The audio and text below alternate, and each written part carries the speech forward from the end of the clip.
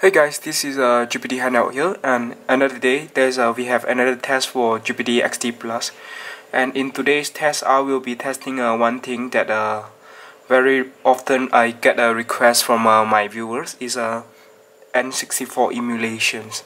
So in this case, uh, the emulator that we will use today is uh, the MUPEN 64 Plus. Uh, just for information, this is uh, one of the better emulator for uh, 64 N64 currently available.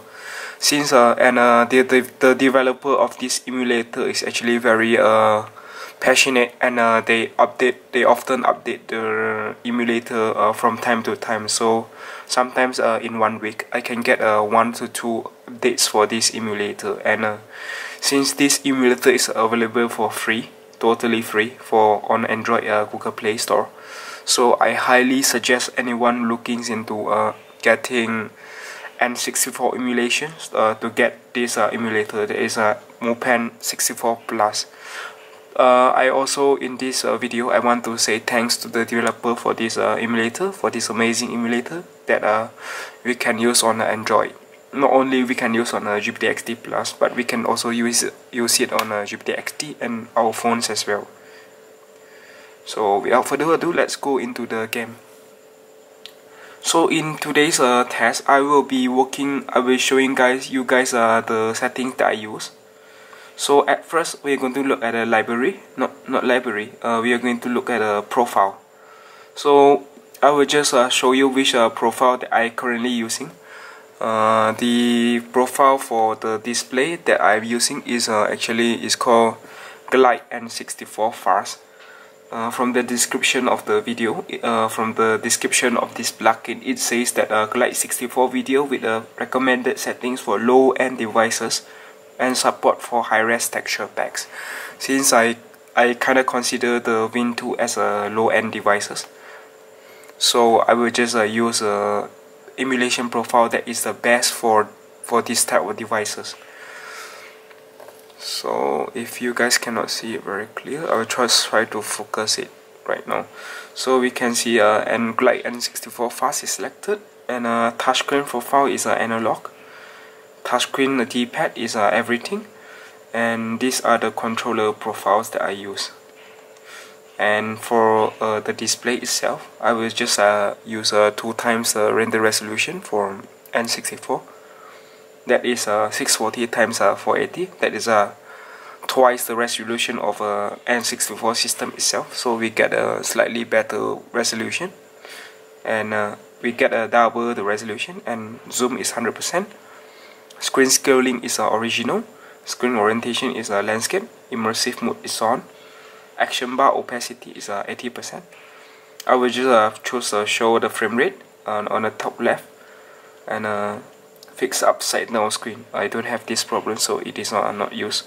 And uh, flicker reduction is uh, is uh, set as a default. That is a uh, auto detect from phone or tablet model. I believe uh, it does a job well uh, without me uh, changing any settings. So we are going to the game right away. Yes so we're going to uh, to set a resume. And we got the touch uh, base screen so in order for the game to show you guys uh, please uh, take a look at the frame rate counter on the top. So this game is actually uh, produced by Rare. Is uh, one of my favorite platformer from the N64 era. The game is called uh, Banjo-Kazooie it is a very cute and uh, very interesting uh, platformer games uh, on available on the N64 and uh, the ability for us to play it on a, in a portable way is a uh, is actually a plus for us to be honest. So and we are currently running at uh, twice the resolution of the original N64 that is uh, 640 times uh, 480 and we can achieve a uh, lock uh, 30 frames per second. So this is actually a good news for those uh, looking forward for N64 emulation. It proves that um, N64 emulation uh, does work well with uh, GPD XD Plus. And we'll go back to our home.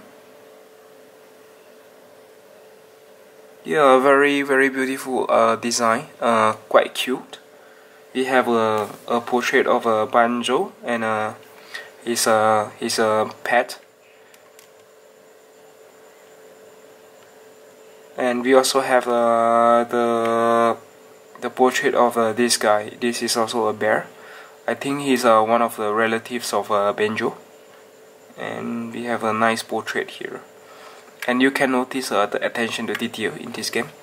The cloth actually moves uh, in this game. So Rare is really uh, putting a lot of uh, efforts and detail into this game. We also see the photograph of um, Banjo's uh, sister that has been kidnapped. And uh, you can see when uh, the clock we can have the there's a parrot coming out. Yeah it is a very into a very detailed game. So and the game is uh, running very smooth at a twice the resolution. So let's try uh, going outside and uh, I will just show you a quick uh, round before I end this uh, short test for the Banjo Kazooie N64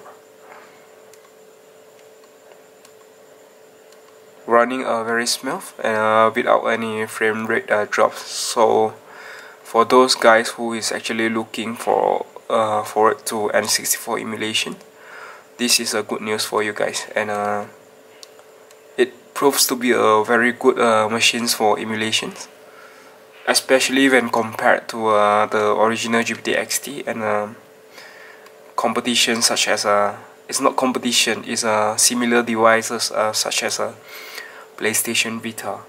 Of course uh, your phone with a Snapdragon chips will perform uh, better but uh, you with uh, the XD Plus you also get uh, the you also get the extra in in the sense of uh, it has a very high quality uh, buttons that is uh, with a very low input lags. So this is a very fun game. And uh, with that I will end my uh, quick test video. And that's all for this video.